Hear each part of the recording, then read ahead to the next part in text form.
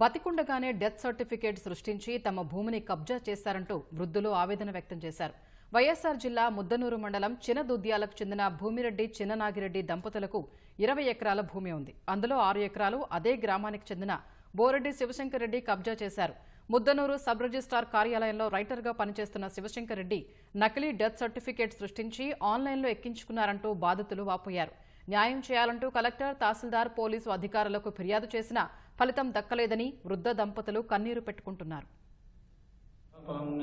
ఆరున్నర ఎకరా ఐదున్నర ఎకరా ఆన్లైన్ లేకుండా చేసిన బోరెడ్డి శివశంకర్ రెడ్డి తండ్రి శివరాముడి నేను బతికిండగానే నేను చదివిన సర్టిఫికెట్ పెట్టి ఆన్లైన్ లేకుండా నాకు ఆర్టీఓ నాగర్నూరు చేసినాడు టీటీ మల్లికార్జున ఎంఆర్ ఆఫీస్ ఉన్నాడు దేశం దేశం ఆయన ఉన్నాడు ఎంఆర్ఓ అందరూ కలిసి చేస్తాను నాకు సర్టిఫికెట్ పెట్టి ఆయన కాదు చిన్న ఇంటి కాదు తన ఇంటి అనేది పెట్టి చేశాను నా భూమి సార్ శివరామిరెడ్డి శివశంకర్ రెడ్డి ఇద్దరు కలిసి నా భర్త చనిపోయినాడని నాకు ఆన్లైన్ లేకుండా చేసి నా భర్త చచ్చిపోయినాడు అని సర్టిఫికెట్ తెచ్చిన దానికి వాని మీద మీరు చర్యలు తీసుకోవాలి సారు.